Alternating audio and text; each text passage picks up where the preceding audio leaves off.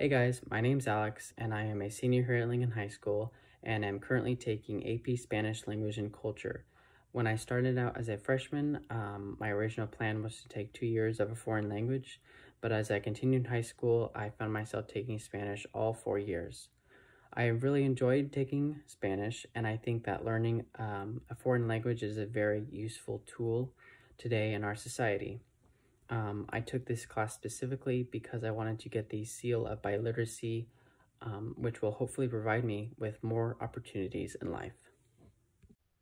Hi, my name's Alexis Phipps. I'm in AP Spanish Language, and I think that this class is is a very fun class. I really like Spanish. I really enjoy learning about it and all of its different facets. Um, but it's also a very valuable class to have because that seal of biliteracy makes you much more employable um, and it's something that a lot of college pathways um, might even have you do.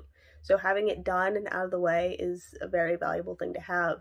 And plus, it's a grade bump, which is an added bonus.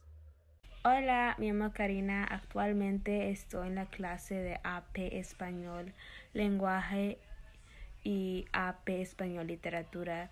Ambos clases que tengo con la señora González es increíble porque conozco muchas personas ahí como que se, se forma una familia que todos estamos ahí para aprender español y mejorar nuestro español.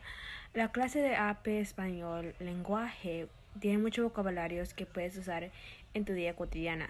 O sea, unas palabras que sabemos, unos que no, de diferentes orígenes de varios países en la clase de AP Español Literatura es la historia del español y el origen